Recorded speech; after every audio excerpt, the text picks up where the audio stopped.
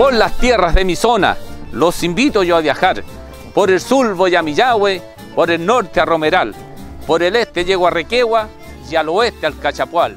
En medio de los que nombro está mi tierra natal, San Vicente Tahuatagua, tierra de tomate y maizal, compadre. Eso fue.